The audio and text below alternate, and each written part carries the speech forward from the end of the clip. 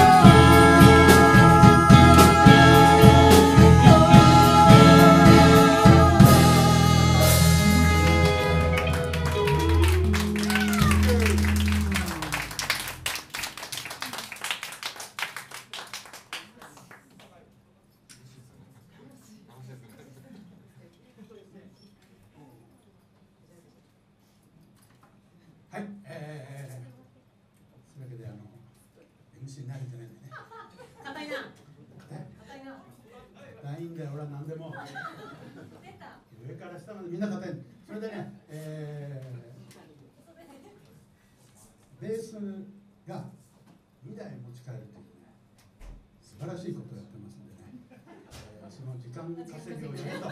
ねここ大丈夫です。ありがとうございます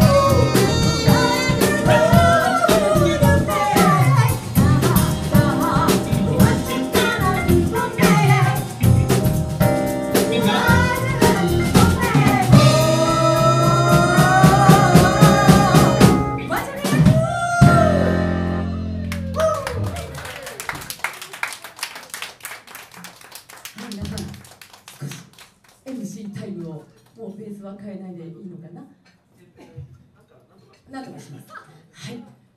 本日はですね先ほどのボーカルにし園も申しておりましたが、えーオリンピック高校野球そしてここ西荻窪寺の私たちの五輪ですよね。お酒を出さなくても酔わせてみましょうホトトギス。酔わぬなら。よよけていきましょうホトトギス。はい。あの当初はですね我々のメンバーの方が人数多いんじゃね？って思ってたんですね。本当に。はい。あまた一人お客様いらっしゃいませありがとうございます。す。ごい。こんなに来てくれるなんて。ね。ねこんなこんな時に来てくれる皆さんは本当に私たちの熱烈なファンだということで いいですか？そういうことにしてしまって。名前知らない人ミラクルです。ミあミラクルでございます。いろいろねあのドドラなんとかとかねあのここなんとかとかいろいろあのどんどんこう名前を変えて今少しミラクルズという名前に落ち着き始めております。え誰かがへそを曲げるとまたちょっと変わるかもしれないけどしばらくはこのまま行きましょうかね。はい。それではですね、えー今こんなご時世で、ね、なかなか右を見ても左を見てもあ右右を見ても左を見てもなかなかいいお話が聞こえてこない、ね、マスクもなかなか手放せないしアルコールはどこで飲んだらいいのかしらとか私の悩みアルコールはどこで飲んだらいいのかしら。毎日悩んでます、はい、それではこんな私たちに幸せが欲しい、えー私が幸せになりますように「アイガットハピネス」という曲をお送りしたいと思います。